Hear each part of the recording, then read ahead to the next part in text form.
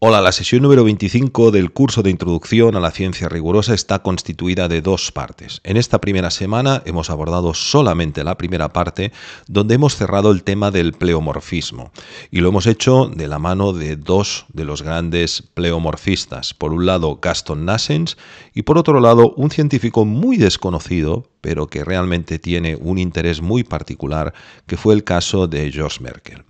Bien, esta sesión cierra, como digo, el tema del pleomorfismo. Hemos dedicado seis sesiones a observar la transformación celular y si bien es cierto que en la sesión 26 vamos a ver los nanobios, que es qué ocurre cuando los, la, biología oficial se encuentra con estas diminutas partículas que son los constituyentes esenciales de la vida,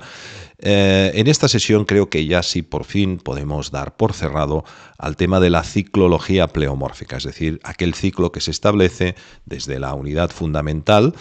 hasta todo tipo de microbiología evolucionada, así como hongos, eh, eh, células eucariotas y, por supuesto, células procariotas.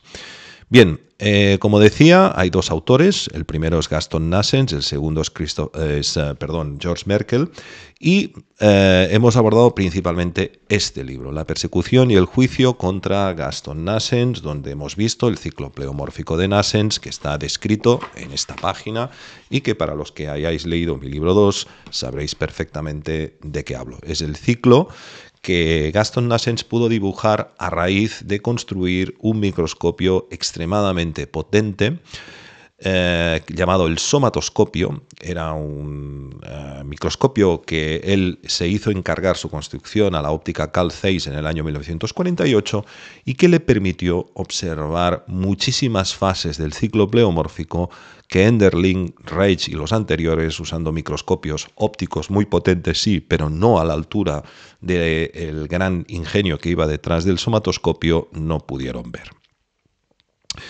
Bien, el somatoscopio, como digo, fue, eh, empezó la idea en el año 1948 a partir de utilizar luz mm, eh, ultravioleta, a partir de dividir el haz de luz en, una, en lo que se llama una célula de Kerr, eh, lo cual le permitió a Nassens observar casi con 50.000 aumentos, es decir, prácticamente 15 veces más de sus anteriores y coetáneos pleomorfistas, observar las diminutas partículas que él llamó somátides. Eh, en, líneas generales, el, trabajo de, de, Nassens es bastante, o hay ciertos paralelismos con el descrito anteriormente por Enderling, en el sentido de que Gaston Nassens también desarrolló, eh, en este caso, primero el GN24, un medicamento que desarrolló en Francia, y a posteriori el 714X, un medicamento basado en el alcanfor, que permitían hacer exactamente lo mismo que Enderling, es decir, revertir el proceso patológico de la evolución eh, pleomórfica hacia formas eh, patógenas, como puedan ser eh, células tumorales, etcétera, etcétera. para los que hayáis seguido los vídeos anteriores, que es imprescindible a estas alturas, pues supongo que ya estaréis un poco siguiendo el hilo conductor descrito en el ciclo pleomórfico. Como sabéis, a Gaston Nassens le hicieron dos juicios, uno en el año 62, que lo obligó a escapar de Francia para ir a Canadá y finalmente eh, el de relatado en este libro, La persecución y el juicio contra Aston Nassens, que se hizo a finales de los años 80 en Canadá. Otra cosa importante del somatoscopio es que permitía observar estas microcimas sin tener que utilizar tinciones, es decir, desde una posición, como digo, absolutamente privilegiada. El otro, otro pleomorfista es un caso muy desconocido, que es el caso de George Merkel, que fue un físico nuclear que trabajó durante los años 60 y 70 para la RAND Corporation, que es una de las principales empresas que suministran material bélico al ejército de los Estados Unidos. Y ahí, eh, a raíz de una serie de hechos que él describe en dos libros suyos, que son libros póstumos que nos ha dejado, eh, tuvo un, bueno, especie de estado espiritual después de intentar ser envenenado y descubrió, eh, utilizando microscopía que nunca llegó a detallar exactamente cómo, que todo ser vivo está constituido de unos cristales que llamó cristales de vida. Al mismo tiempo, em, eh, también descubrió que estos estaban constituidos de ATP y GATP y por lo tanto considero que estos cristales de vida eran precursores de la mitocondria, que como sabéis es el lugar donde se realiza el ciclo de Krebs, es decir, eran estructuras ultra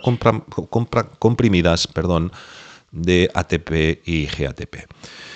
Eh, al mismo tiempo, Merkel observó que estas formas presentaban formas geométricas que le recordaban el antiguo eh, lengua sumeria y por lo tanto creó eh, imaginar que había descubierto que los antiguos, en este caso la civilización sumeria, habían encriptado las estructuras fundamentales de vida.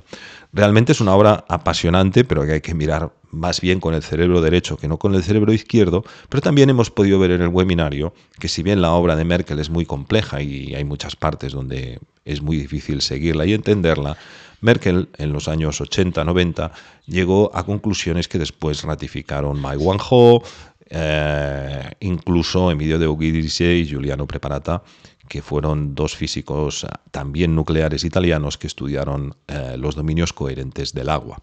Es decir, que hay aspectos de la obra de Merkel que a pesar de su heterodoxia deben de ser considerados y estimados con interés. Esta sesión al mismo tiempo tiene una segunda parte, como he dicho, dedicada a las frecuencias de Royal Rife estas frecuencias serán abordadas en la sesión siguiente porque hay un paralelismo con Gaston Nassens en el sentido de que también Royal Rife descubrió un microscopio basado en un sistema totalmente diferente al de Nassens. El de Nassens era por, ya os digo, por utilizar luz eh, con una longitud de onda más larga, pero en el caso del el microscopio universal, que es como se llamaba el, microscopio de, de Rife, que aquí hay un libro que explica esta historia, eh, este que podéis ver, pues eh, también le permitió observar estas microcimas, estas unidades fundamentales y al mismo tiempo diseñar un polémico sistema de eliminación de las mismas utilizando frecuencias, las frecuencias Rife. La semana que viene vamos a abordar este tema, pero al mismo tiempo, como el curso no se detiene, vamos a continuar con otros temas muy interesantes como son los nanobios, los nanobes, como os digo, este curso no, puede parar eh, y entraremos ya por fin en la biofísica, en la obra de Claude Bernard y sin duda estamos entrando en una parte súper interesante que ahora nos va a abrir en la sesión 27 la bioelectrónica del profesor Vincent o lo que es lo mismo las bases científicas de la teoría del terreno. Así que nada, esto es lo que ha dado de sí la sesión 25 en su primera parte. La semana que viene te contaremos lo que ha dado esta segunda parte eh, dedicada a Royal Rife. Un saludo y si quieres información, contacta con la Universidad Viviente del Terreno y ahí te informarán sobre la contratación del curso.